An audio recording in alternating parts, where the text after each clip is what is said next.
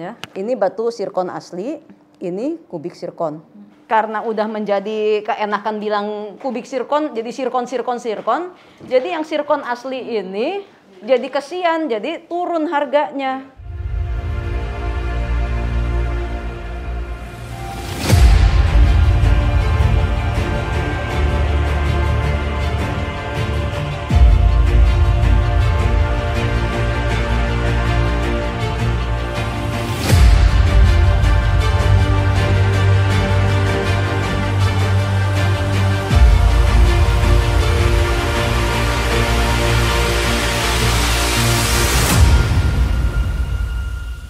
Kubik sirkon, sintetik kubik sirkon, itu kan tiruan berlian, ya kan?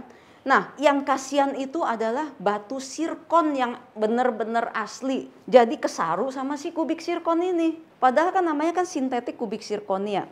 Ya kan? Eh, atau yang dibilang dengan American Diamond.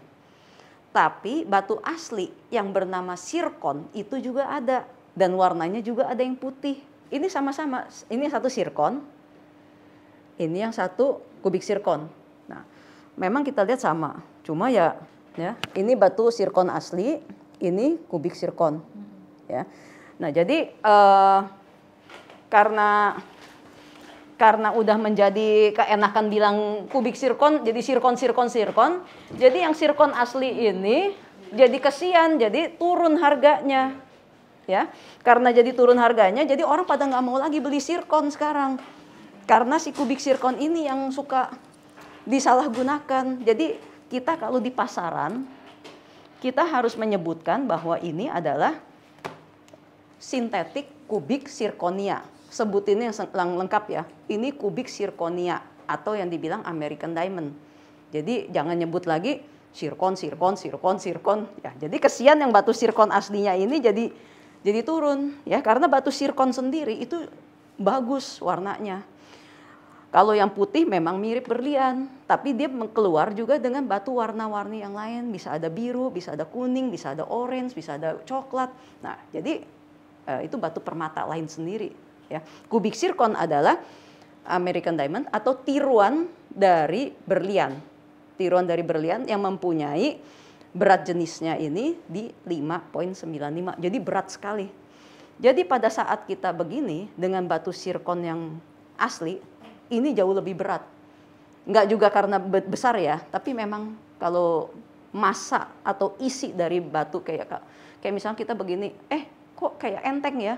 Nah, ini kok kayak berat ya. Nah, itu adalah kayak massa atau isi dari suatu bendanya. Jadi feeling itu kita harus pakai ya. Sama juga dengan berlian. Cara membedakannya dengan kubik zircon gimana? Kita begini juga. Yang berlian kelihatannya lebih gede tapi pada saat kita have begini ini bisa lebih enteng. Karena berat jenisnya berlian adalah 3.52 dan berat jenis kubik zircon adalah 5.95 berat ya. Jadi muka diamondnya itu seperti 3 karat 3 karat ya. Kayaknya besar gitu kalau 3 karat ini 5 karat ini model batunya juga kecil muka besar tapi kecil. Yang itu juga jadi eh, karena berat jenisnya ini pengaruh ya. Jadi cara menentukan kubik zirconia atau bukan itu juga dengan coba cara dipegang di ini. Kalau berat berarti harus dicurigain itu adalah kubik zirconia ya karena nggak ada yang batu-batu lain tiruan berlian ataupun berlian yang seberat ini. Itu cara gampangnya untuk bedain nama kubik zircon. Halo, saya Yudis. Dan saya Puspita. Ya, kami dari, Kami dari PT Passion Abadi Corpora. Corpora. Ah, Kami belajar di IGP ini untuk lebih memahami tentang diamond gitu. iya, tentunya bagus sekali ya, Pit. Oh eh, iya, belajar di sini. juga dapet. Hmm, dan Terus kita dapat pelajaran yang tadinya kita belum tahu mungkin gitu loh. Jadi sampai bisa melihat dengan mata kasat mata itu colornya apa, clarity-nya eh, apa, kayak gitu. Terus eh, kita juga meli- bisa melihat atau menilai dalamnya gitu, eh, apa inklusinya ada di mana, kayak gitu.